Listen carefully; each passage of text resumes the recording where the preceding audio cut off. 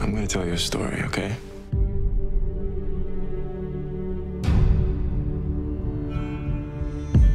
So it's summer in Salem.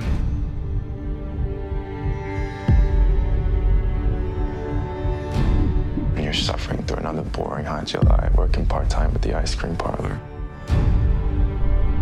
You have earbuds in, music blaring. But one day, your dad says, Hey, let's go to Virginia Beach.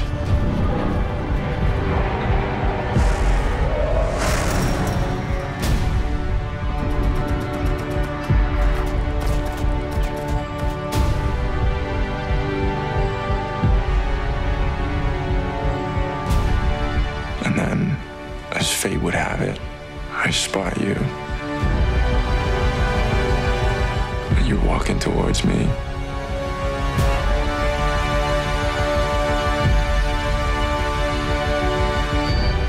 beautiful.